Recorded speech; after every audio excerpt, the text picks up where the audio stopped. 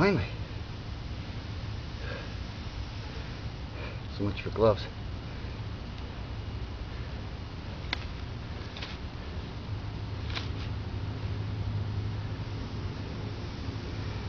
Worked in a couple of new blisters.